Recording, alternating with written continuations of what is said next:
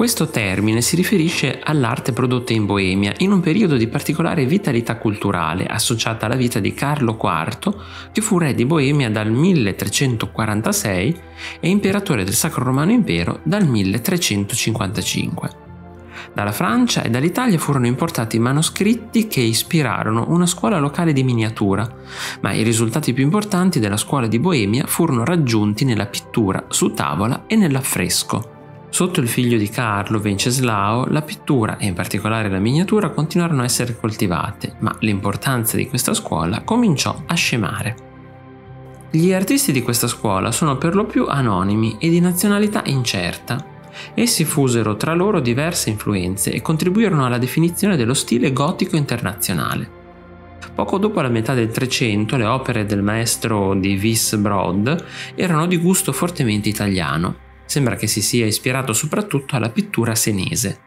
Successivamente, con il maestro di Trebon, che lavorò durante gli ultimi decenni del secolo, l'influenza francese si fece più forte. La scuola di Boemia fu attiva dalla seconda metà del XIV secolo fino all'inizio del XV secolo, quando molti lavori andarono distrutti durante la guerra contro gli Ussiti, membri di un movimento cristiano riformatore e rivoluzionario. Centro di diffusione di questa scuola è la Boemia, una regione che oggi si trova nella Repubblica Ceca. Praga fu il centro propulsore con la sua università, attorno alla quale si raccolsero studiosi e artisti provenienti da ogni parte d'Europa.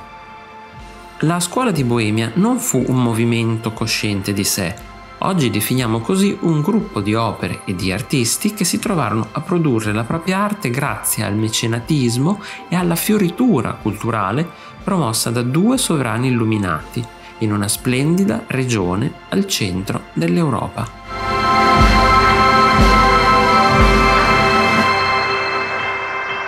Video ti è piaciuto metti un bel like, lasciami un commento, condividilo con i tuoi amici ricordati inoltre di iscriverti al canale e di cliccare sulla campanella per non perderti i nuovi video. Ciao!